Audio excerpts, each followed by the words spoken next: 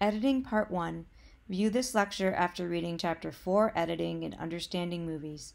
Review the film grammar sheet in the module on D2L to aid in the note taking process. The videos in the supplemental playlist enhance this lecture.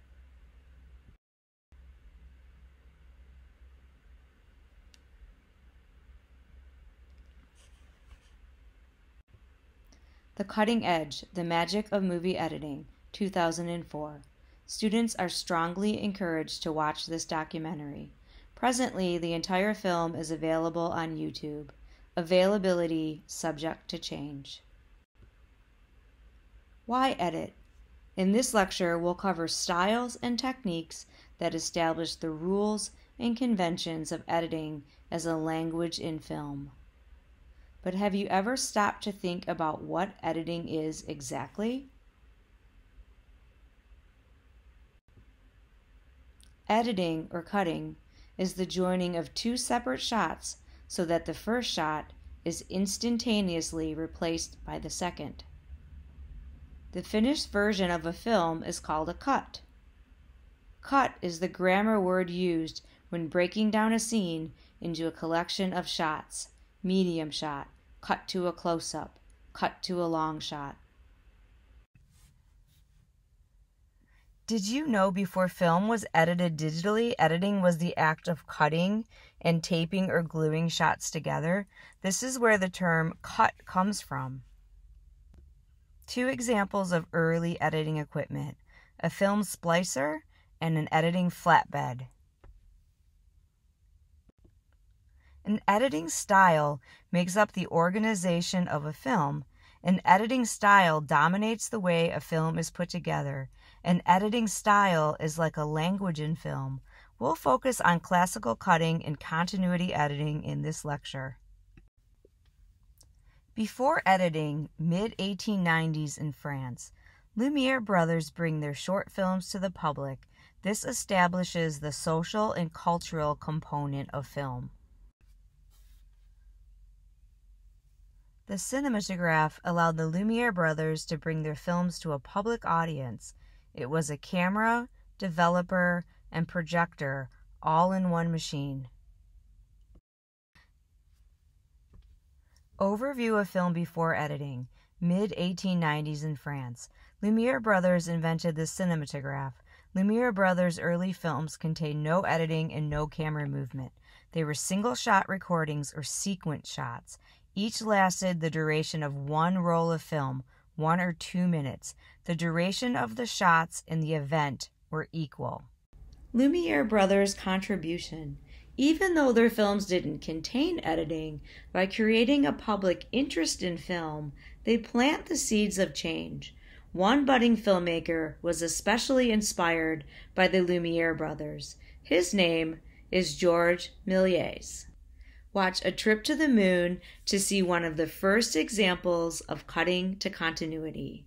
George Méliès uses cutting to continuity to create episodic films by connecting sequences. Editing and camera placement still based on live theater. The camera is stationary and outside of the action. Cutting to continuity is like a curtain coming down and then opening in a new location. Cutting to continuity is a technique used in most fiction films today. Giannetti says it's a shorthand existing of time honored conventions. Cutting to continuity tries to preserve the fluidity of an event without literally showing all of it. Time. Editing frees the world of film from the time constraints of the real world. 120 minutes of film time can equal one day, one month, one year, or even 1,000 years. Cutting to continuity can take a long event and condense it down into a few shots. Edwin S. Porter directed Life of an American Fireman and The Great Train Robbery. Use editing to create parallel action or cross cutting. An early example of parallel action from Edwin S. Porter's film The Great Train Robbery. Shot A are robbers holding up a train station, and shot B are police on horseback with guns. Parallel action happens by cutting between the two different lines of action. The shots are not linear. Shot B does not pick up where shot A left off. Instead, they're linked by the continuity of an idea. Parallel action has to do with space. Parallel action implies that the action is taking place in two separate locations at the same time. By cross cutting between the police and the robber, the viewer links the two sequences and parallel action takes shape. When you say, I was on the edge of my seat, chances are it was parallel action that put you there. Techniques.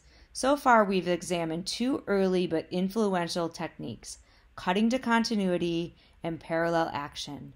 In the beginning, editing wasn't a full fledged film language. Think of editing techniques like words. When cut together, they create a language. Classical cutting. D.W. Griffith is sometimes called the father of filmmaking in America for using editing within scenes to vary dramatic intensity. He expanded on the visual explanation by juxtaposing long shots, medium shots, and close ups, varying the length of shots, and shifting the attention within a scene. Innovation in editing. D.W. Griffith expands upon the existing editing techniques of the day to create a full fledged language. At its heart, classical cutting is continuity editing. It becomes a way for Hollywood to streamline the process of cutting a film together. Continuity editing, a style of editing designed to be invisible, functions to move the story forward without calling attention to itself. Classical cutting is the term used for Hollywood's application of continuity editing during the Golden Age. The master shot technique. The scene is first shot in its entirety from a long shot. The action is then repeated many times. Without a master shot, editors may not have adequate footage. Techniques in continuity editing. Be sure to view the examples on the supplemental playlist on D2L. Copyright laws prevent me from embedding the videos within the lecture, but they're very important. Cutting on action. Action begins in one shot and then ends in another. Cutting on dialogue. Motivated by who is talking or listening. Cutting on glance the edit follows the eyes of the character and creates a point of view shot. Rules of continuity. Believe it or not, cutting a film together is a rather complicated process. The average Hollywood film shoots over 200 hours of footage. It's necessary to shoot a scene from numerous angles and positions. The 30 degree rule. The angle and or position of the camera must vary at least 30 degrees between shots. Cutting on action must obey the 30 degree rule. This storyboard follows the 30 degree rule. It starts with a full shot of the subject, then it cuts to a medium shot of the subject and also changes the angle, and then ends with a medium close up of the subject and changes the angle as well. The 180 degree rule.